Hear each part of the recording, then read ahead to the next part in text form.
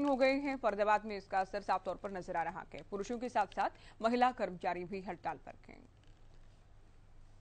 फरीदाबाद में तमाम विभागों के जो लिपिक हैं, वो पिछले आठ दिनों से धरने पर बैठे हैं और आज धरने का नौवा दिन है। तो लगातार आप देख सकते हैं कि सुबह से ही यहाँ पर तमाम जो लिपिक हैं, जो फरीदाबाद के अलग अलग विभागों के सभी लिपिक हैं, वो यहाँ पर एकत्रित होते हैं और पूरे दिन उनका यही नारेबाजी जो है चलती रहती है लोग सरकार से गुहार लगा रहे हैं कि उनका वेतन बढ़ाया जाए लेकिन अभी तक इस पर कुछ नहीं हो पाया है। और हमारे साथ यहाँ पर ये तमाम जो लिपिक हैं इनसे हम इनसे हम बात कर लेते हैं।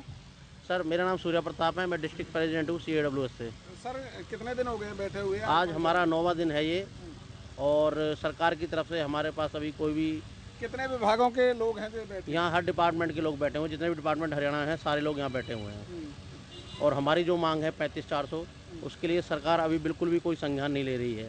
हमने बार बार अपने अपने जो ज्ञापन दिए हैं उनके माध्यम से 18 जून को अपना अपना ज्ञापन दिया है हमने करनाल में उसके माध्यम से सरकार को बार बार चेताना चाहा पर सरकार ने हमारी मांगे अभी तक नहीं मानी है। आज नौवा दिन है तो हम सरकार से यही कहना चाहेंगे कि सरकार हमारी मांग माने।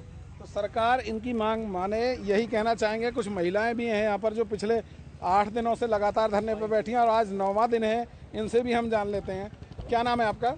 मेरा नाम मीनू है, मैं डीसी ऑफ़िस से हूँ। मैं 2020 में क्लर्क की ज्वाइनिंग पे पहले मेरा जो ज्वाइनिंग दी गई थी वो सोने फ़िलहाल किस बात को लेकर बैठे हुए हमारी सिर्फ़ एक ही मांग है कि हमारा जो बेसिक पे है वो उन्नीस नौ सौ से रिवाइज होकर पैंतीस चार सौ किया जाए। हमारे समानांतर जो पद श्रेणी के कैटेगरीज हैं जैसे एम पी एस डब्ल्यू है और स्टाफ नर्स वगैरह हैं जेबीटी है उन सभी का हर एक पे स्केल रिवाइज होता गया हर एक वेतन आयोग में। पर हमारे साथ ही ये भेदभाव क्यों किया गया कि क्लर्क को पीछे छोड़ते गए और सभी कैटेगरीज आगे चलती गई? हमारी सिर्फ़ एक ही मांग है कि हमारे कार्य की समीक्षा को देखते हुए हमारा पे ग्रेड बढ़ाया जाए। पे ग्रेड बढ़ाया जाए। आप क्या मानते हैं जितना मिल रहा है वो पर्याप्त नहीं नहीं सर पर्याप्त नहीं है। हमारा बढ़ाना चाहिए। क्या दिक्कत आती है? सैलरी कम है सर। काम ज़्यादा है हमारा। काम की समीक्षा होनी चाहिए जो पोस्टिंग है वो 300-300 किलोमीटर दूर दी जाती है। उन्नीस नौ में एक घर चलाना बहुत मुश्किल हो जाता है। यदि दो बच्चे हैं उनकी फ़ीस भी देखी जाए तो सोलह सत्रह हज़ार रूपए उनकी फ़ीस होती है। और किचन का खर्चा इतना होता है कि एक उन्नीस हज़ार नौ सौ में कोई भी हमारी जो बेसिक जरूरतें हैं वो पूरी नहीं हो पाती सर।